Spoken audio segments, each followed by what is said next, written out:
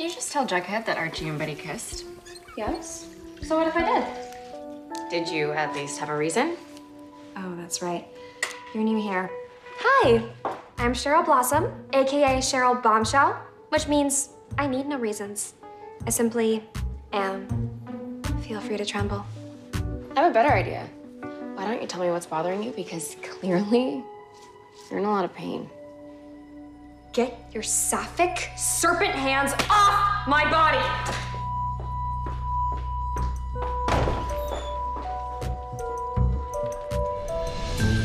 Riverdale returns with an all new episode this Wednesday at 8, 7 central, only on the CW and the CW app.